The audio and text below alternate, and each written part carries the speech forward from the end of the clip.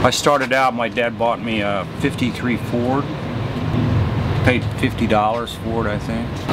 When it came time to fix it, I think at 14 I was mowing lawns. I was about your size. I think I mowed lawns for like two and three dollars a lawn. Yeah, so something went wrong with the car. There wasn't any way I had the money to fix it. So it would just like sit, you know, forever. I remember being in high school and I was in uh, automotive technology and I took an art class and I made some drawings. And my art teacher she was uh, critical of them you know? And and then she would like post them up. It's pretty weird I thought. And then she came up to me and she says uh, oh are you thinking about going to art school? And I went no I said I'm gonna be a mechanic and she went a fucking mechanic she says you got a lot of talent you should be an artist. And I said, what would I do? How could I make money? So I told my dad, and he goes, yeah, I don't think he's making money So you better stick with what you got. I got married at 20. I went to art school at night. Not, uh, not trying to graduate, but just trying to learn. But shit, it was easy for me. I was selling a lot, man. Unbelievable amount. I had stuff in stores, you know, tourist shops and shit. It was pretty good. And then I started doing more modern stuff. That was in uh, 70s.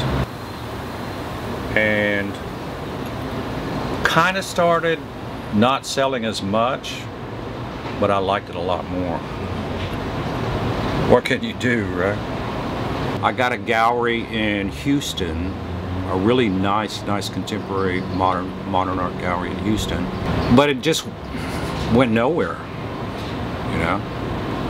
And I felt like I did some of my best work then, in many ways, but it didn't go anywhere. And I went up on the street, and then uh, it's like, well, fucking now what? I run out of fucking ideas here, you know. This guy came along real rough fucker. He says, uh, you got a place to live? And I went, no. And he says, you got a job? I said, no. He says, can you do construction work? And I said, yeah. He says, well, I got a small remodeling company you want to work with. I said, yeah. Luck.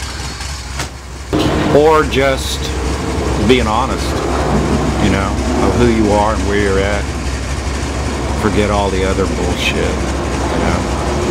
I mean, I didn't say, well, I used to be this really fucking famous artist. I'm living in all these different exotic cities and shit. You know, I didn't say anything about that. There wasn't any sense in it. You know, that was gone.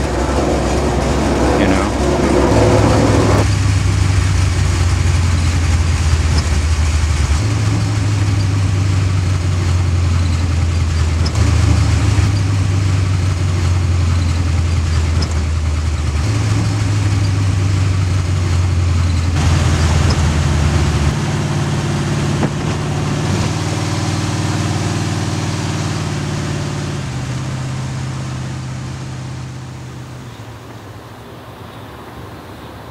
Yeah, I'm gonna keep this one. It's everything that I want in a in a hot rod right now. You know, and it is a 32 Ford, so pretty classic hot rod. There's these classification which guys are called traditionalists. Traditionalists. They're very idealistic about it. You know, you can make a model car, which comes in a cardboard box made by a manufacturer and the parts are already there. And you've got a set of instructions. So you follow the instructions and you make a model car. Mm -hmm. it's almost like that for these guys.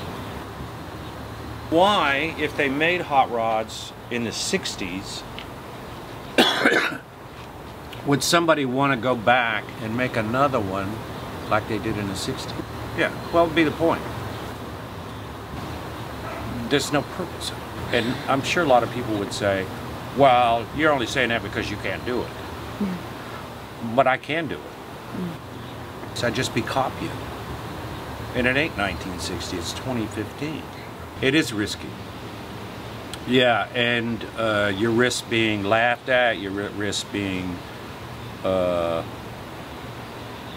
a failure. Well, I could care less about that.